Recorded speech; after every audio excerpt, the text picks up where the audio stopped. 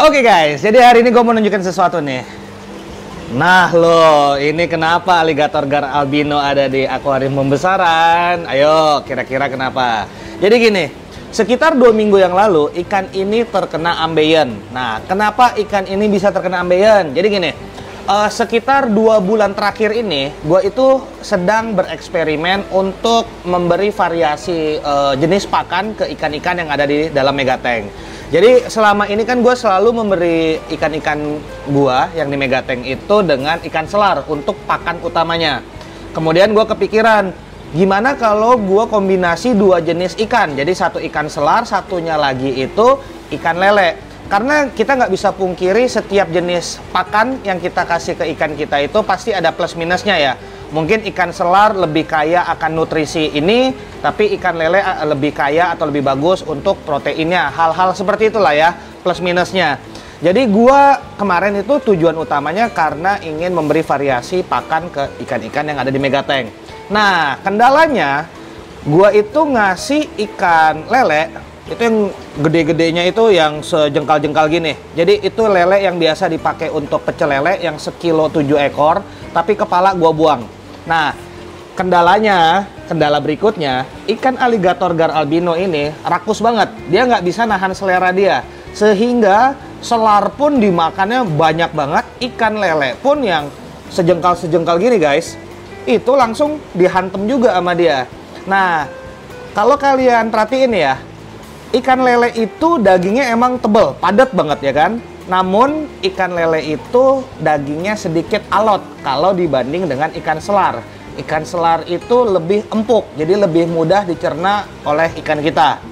Jadi karena dia makan ikan lele banyak banget, nggak kira-kira perutnya udah bener-bener hampir kayak mau meletus gitu ya kasarnya. Dan udah berjalan 1-2 bulan, akhirnya muncullah kendala Nah, jadi kendalanya apa? Ya itu, ikan ini terkena ambeien. Sehingga ya gue putuskan ini harus cepat ditanganin.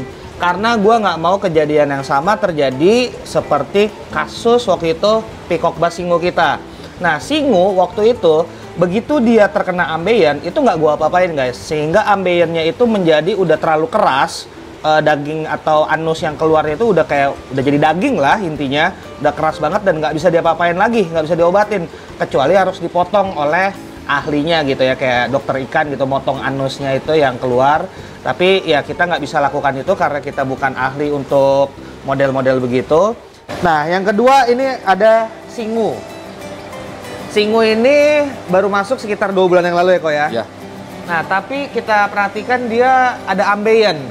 Kalau kalian lihat mungkin sekilas-sekilas singu gua itu ada ambeiennya. Jadi ambeiennya ini mau kita coba obati, namun karena akuarium pembesaran penuh, jadi ini akan dicoba di Bang Angga ya. Iya, iya. Bang Angga akan coba misalnya sembuh, nanti ya kasarnya ya kembali lagi ke sini. Tapi misalnya nggak sembuh, ya anggap aja udah ke tempat lain. Sehingga ya singkat cerita singu kita itu nggak bisa diobati lagi waktu itu sama Bang Angga. Nah, jadi untuk ikan aligator gar albino ini, begitu gue lihat udah ada kendala uh, ambai, ambeien, langsung gue inisiatif sorenya itu gue evakuasi ikan ini. Nah, karena ikan ini jatuhnya berenangnya sangat lambat ya, jadi ya sangat mudah juga untuk kita serok. Dan gue jujur kaget banget nih pas diangkat keluar dari Megatank ternyata ikan ini udah gede banget. 80 up lah yang jelas. Nanti uh, kita akan ukur dia size fixnya berapa. Tapi sebelum itu gue akan jelasin dulu uh, apa yang gue lakukan dua minggu terakhir ini. Bagaimana cara gue menyembuhkan ambeien dia. Nah nih kalian lihat nih ambeiennya udah nggak ada lagi tuh di pantatnya. Udah mulus lagi jadi yang gue lakukan dua minggu terakhir ini itu gue cuma memuasakan ikan aligator gar albino ini nggak gue kasih makan sama sekali dan gue set heater di 32. Nah waktu itu gue ada opsi untuk ngasih garam atau tidak. Nah gue putuskan untuk tidak memberi garam dulu. Gue mau lihat tanpa garam bisa nggak dan ya intinya kalau puasa sama heater doang cukup nggak atau gimana gitu kan. Setelah berjalan 10 hari udah mulai banyak uh, perkembangan dan ya akhirnya gue putuskan tidak menggunakan garam. Nah Jadi ini kondisinya udah sembuh guys. Nah, jadi untuk ikan di megateng nanti gua nggak akan lagi menggunakan lele, gua akan pure kasih makan ikan selar terus karena ya kendala lainnya ikan-ikan gua itu juga udah mulai milih-milih makanan. Jadi ada beberapa ikan yang lebih suka ikan lele, begitu dikasih makan ikan selar, dia nggak terlalu nafsu makan selar lagi gitu. Dia nunggunya pas lele jatuh baru dimakan. Dan sebaliknya, ada yang cuma suka ikan selar, ikan lelenya nggak mau dimakan. Jadi ya udahlah, kayaknya kita balik lagi ke ikan selar to aja. Mungkin alternatif lain nanti gue untuk memberi variasi makan itu ya mungkin ikan selar dan juga cumi udang gitu ya. Tapi ikan ya satu aja selar, nggak usah digabung sama ikan lele. Nah sebenarnya ikan lele itu secara umum lebih ekonomis ya karena harga per kilonya aja juga udah jauh lebih murah dibanding ikan selar. Kalau di Pekanbaru ikan selar itu di 35.000 per kilo. Sedangkan ikan lele cuma sekitar 27.000 per kilo. Namun karena gue tidak menggunakan kepalanya ya, kepala lele lele itu gue buang, badannya aja. Jadi sebenarnya kalau secara daging per kilogram gitu ya, pure dagingnya doang, ya jatuhnya sama aja. Karena begitu kita buang kepala ikan lele itu udah susut 30% guys. Udah hilang 30% dari misalnya satu kilo nih kita potong kepalanya itu sisa daging udah sisa 70 atau 65% jadi kalau dihitung uh, daging per kilogram per rupiahnya ya kurang lebih sama aja dengan gue menggunakan ikan selar. Seperti itu sih kurang lebih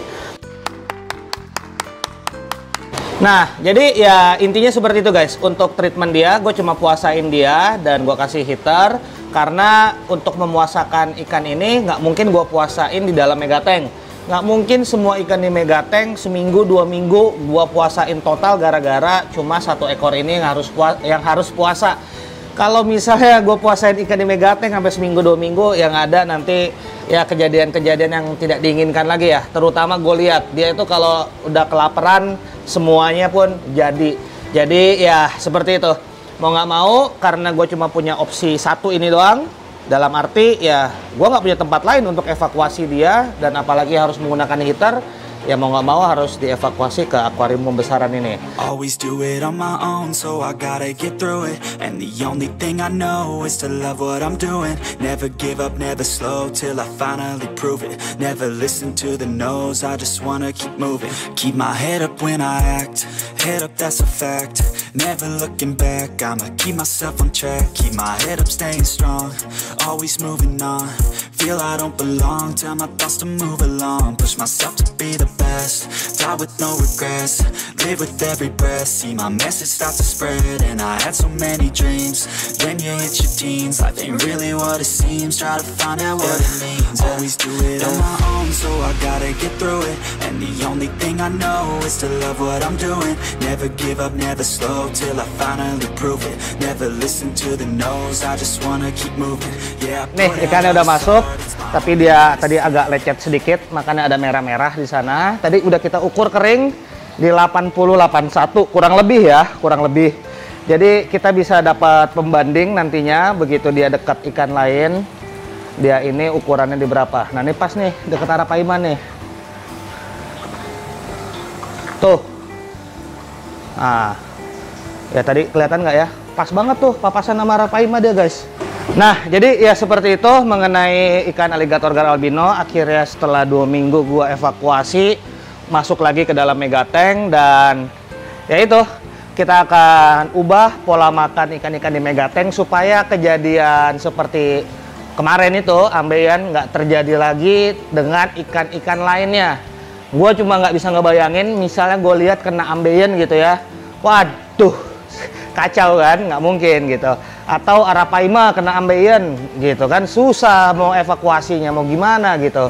Jadi ya udah mungkin itu aja sih yang bisa gue share ke kawan-kawan semua. Semoga sedikit banyak video ini dapat bermanfaat. Dan see you guys in my next video. Bye bye